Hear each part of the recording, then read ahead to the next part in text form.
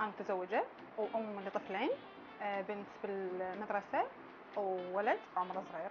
آه، بلشت بداياتي آه، بالبيت اللي هو كان عبارة عن ورشة عمل داخل البيت بالطابق الثاني مال بيتي.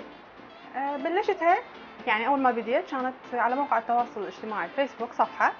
بلشت بيها بلشت أطور الشغل مرة وإثنين وثلاثة لحد ما طورت الشغل وكبرته. الحمد لله والشكر. بعدها ضفت آه، صفحة على موقع التواصل الاجتماعي اللي هو الإنستغرام.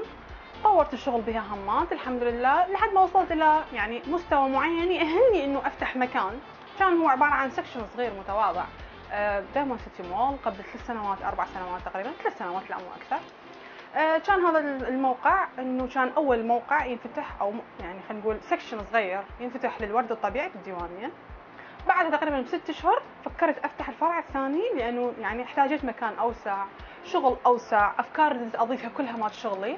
الحمد لله الله وفقنا وفتحنا الفرع الثاني. الفرع الثاني كان أكبر وخلينا نقول ملم لكل شغلنا باعتبار إحنا شغلنا مو بس ورد طبيعي.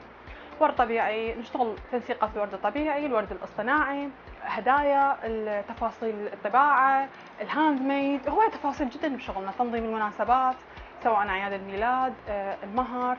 يعني تفاصيل الخطوبة تزيين السيارات كل ذا التفاصيل إحنا ملمين بها بشغلنا. استيراد الورد يعني إحنا عندنا مصادر معينة نستورد من عندها الورد الورد كله مستورد سواء هولندي بلجيكي كيني إكوادوري يعني هو متنوع وأكو حتى إيراني بس إحنا ما نشتغل بالإيراني بسبب إنه الإيراني عمره قصير. فإنه أكثر من مكان مصادر متعددة يعني إحنا خلينا نقول متعاملين وياهم بشكل مستمر.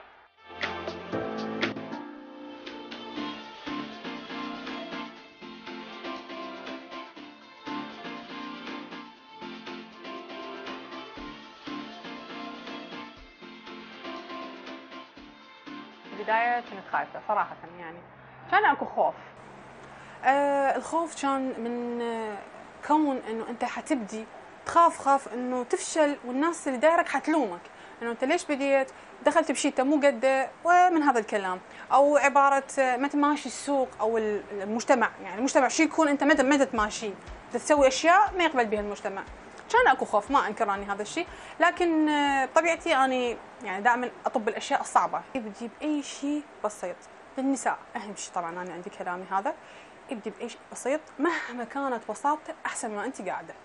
فأهم شيء ابدي بشيء تحبه. مهما يعني مهما كان بدايتك سهلة وبسيطة وأنت راح تستهين بها. أنا متأكدة إنه أي شخص حيستهين بها.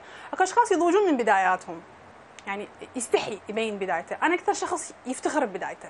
يعني كانت بداية كلش بسيطة وصراحه أنا كانت عندي ثقة بنفسي إنه أنا راح أوصل لشيء مهم بس ما توقعت نفسي راح أوصل اللي أنا وصلت.